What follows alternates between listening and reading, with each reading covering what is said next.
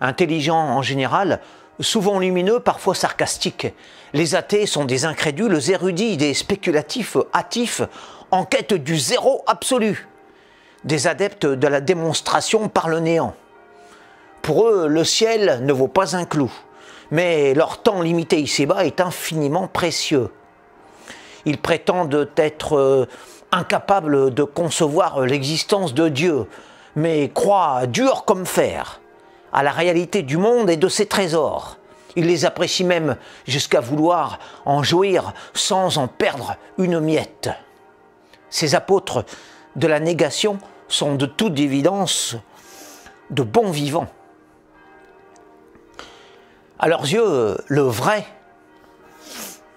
c'est leur vie présente et le bonheur gratuit qu'ils peuvent en tirer.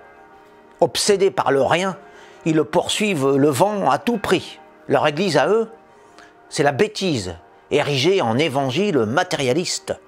Ce sont des ânes qui adorent le veau d'or des bourricots, les haricots, qu'ils aiment manger cuisiner au beurre tout en niant la possibilité d'un cuistot dûment toqué. Pétris de certitudes issues du plancher des vaches, ils ruminent leurs idées creuses, les poches pleines de lingots.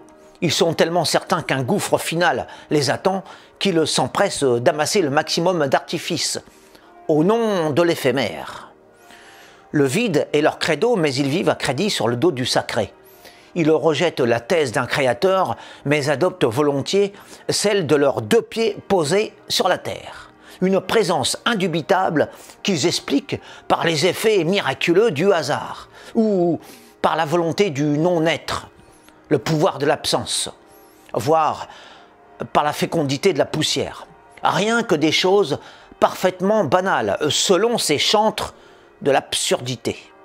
Bref, ce sont des fous rationnels qui cherchent des lois prouvant qu'il n'y en a pas.